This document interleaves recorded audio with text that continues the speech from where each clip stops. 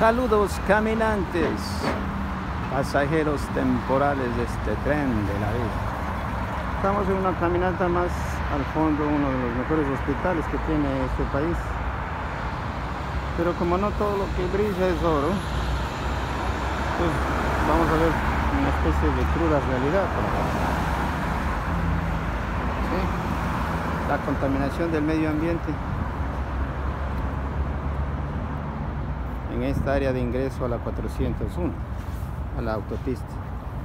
¿Sí? Miren la basura. Ahora, esta es la otra realidad.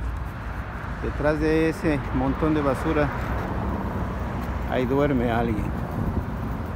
¿Sí? Está su pequeña casita, son indigentes que yo no sé cómo sobreviven en este frío. Estamos a menos 5 este momento y ahí está, miren. La verdad, aquí no sé por qué las autoridades no hacen nada al respecto. Pero miren, eso es triste. Justamente estamos al lado de una de las autopistas más transitadas de, de Norteamérica. Esta se llama la 401. Miren la contaminación, el basural que hay.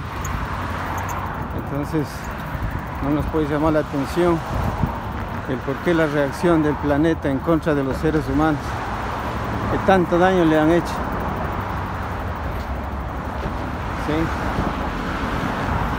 Un país que contamina altísimo.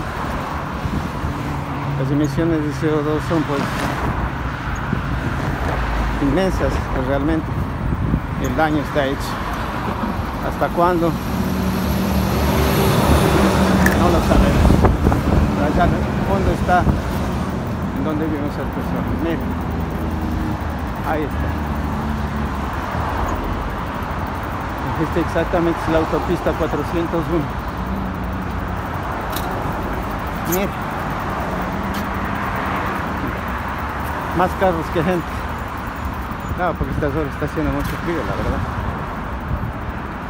Muy bien, caminantes. Continuamos con este, este viaje. Todavía echamos haciendo caminos al andar. Esta es el puente de la calle Kill se llama. Así que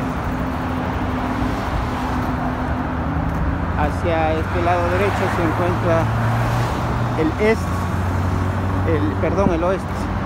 Ese lado de acá es el este. Hacia el frente está el sur y a mis espaldas, por supuesto, Muy bien, aquí nos vamos. Chao, chao.